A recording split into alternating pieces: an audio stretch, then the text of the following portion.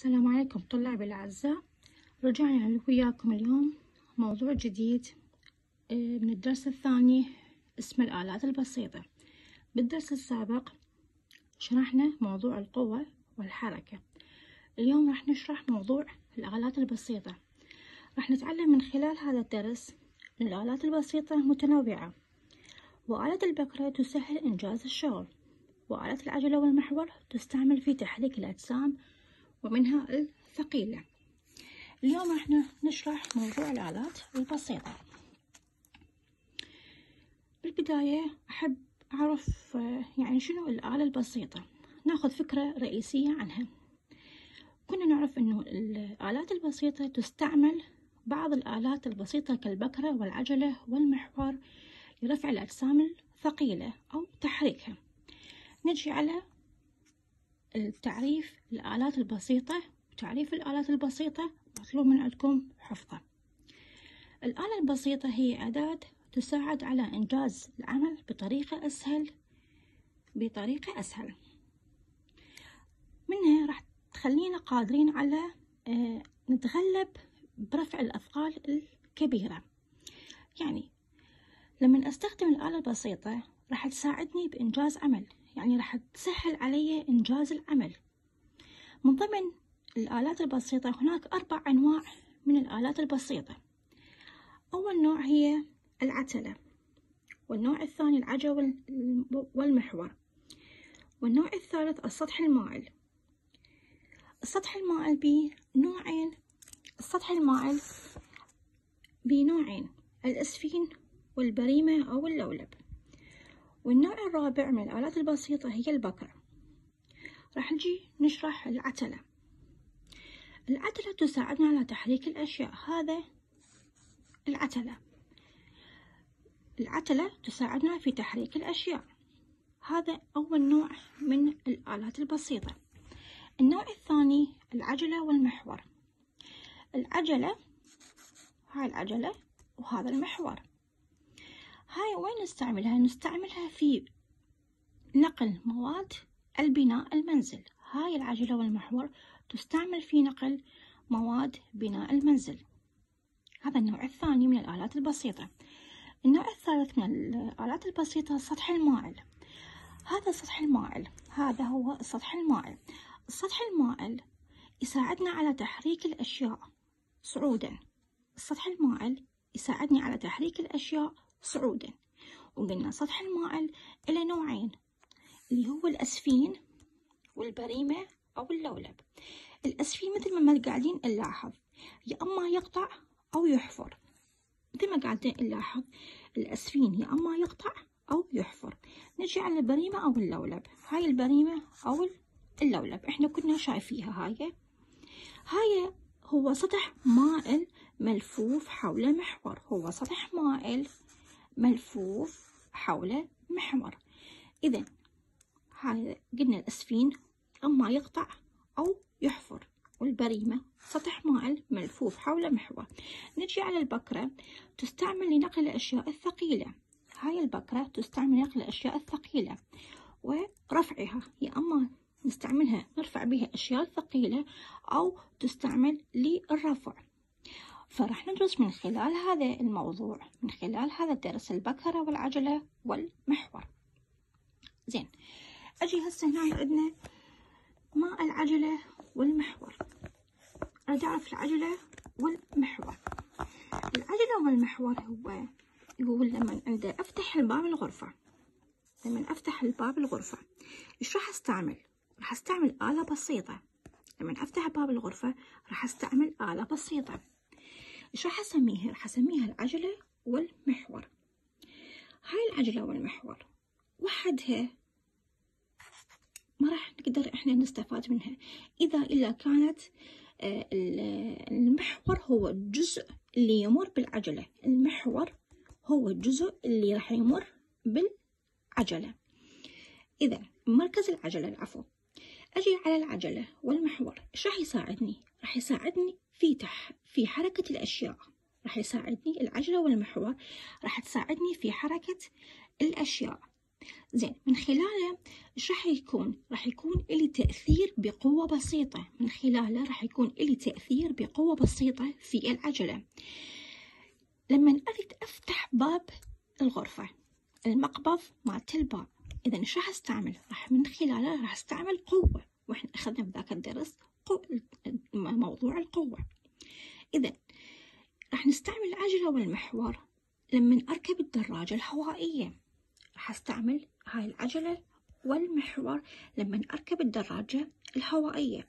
إذا شو است... شو استعملت أني؟ استعملت العجلة والمحور.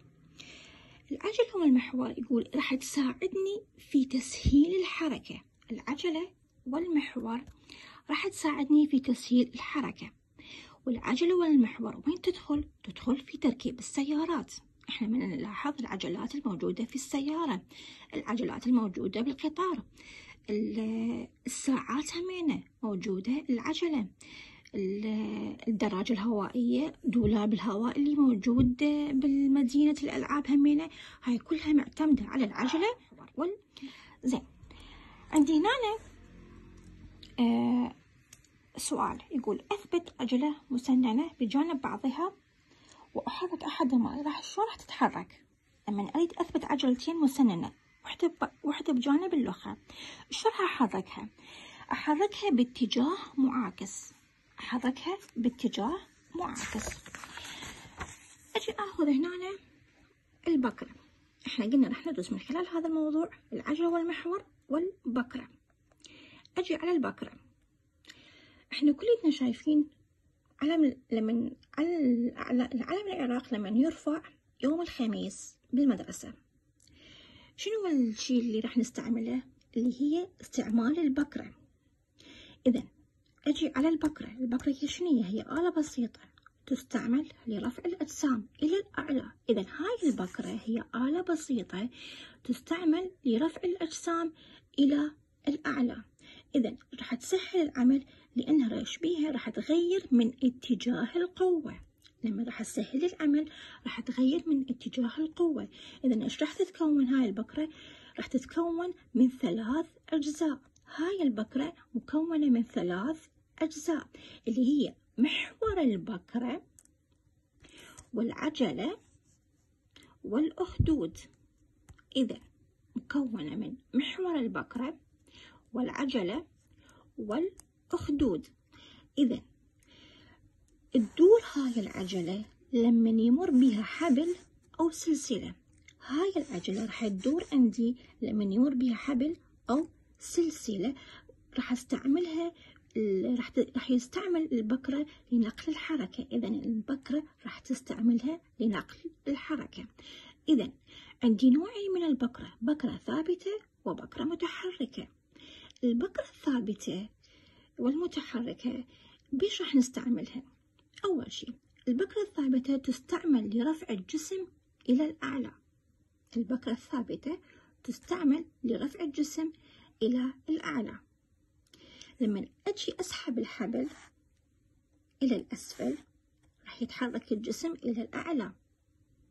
إذا لما أجي أسحب الحبل إلى الأسفل راح يتحرك الجسم إلى الأعلى.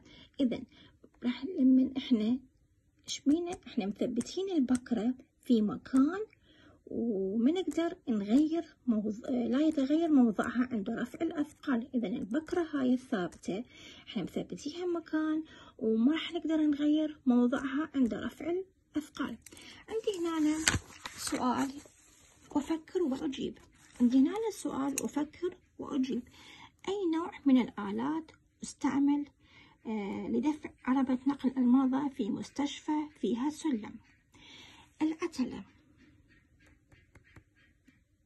سؤال يقول أي نوع من الآلات أستعملها لدفع عربة نقل المرضى في مستشفى فيها سلم؟ العتلة آه العفو العجلة والمحور. العجلة والمحور. العجلة والمحور راح تساعدني بنقل المرضى آه أدفع العربانة لنقل المرضى. عندي هنا السؤال يقول أي نوع من الآلات البسيطة يمثل الملقط؟ أي نوع من الآلات البسيطة يمثل الملقط؟ العتلة هي تمثل نوع الملقط شكله يشبه الملقط شكله يشبه الملقط. إذا هنا أرجع مرة ثانية. الآلة البسيطة. الآلة البسيطة. أخذنا فكرة عليها أنه هي أداة تساعد في إنجاز العمل. أداة تساعد في إنجاز العمل. راح تسهل لي العمل بطريقة أسهل. وقلنا الآلات البسيطة مقسمة إلى أربع أقسام اللي هي العتلة والعجلة والمحور والسطح المائل والسطح المائل بنوعين اللي هو الأسفين والبريمة أو اللولب.